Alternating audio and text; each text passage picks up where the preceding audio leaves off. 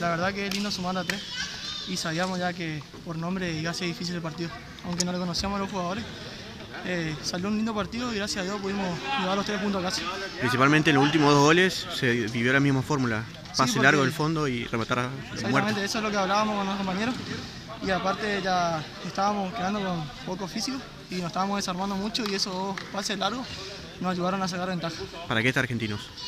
Y la verdad que es un club donde queremos formar algo lindo, que sea duradero, ¿no? Y es un grupo, muy, muy- buen grupo de amigos.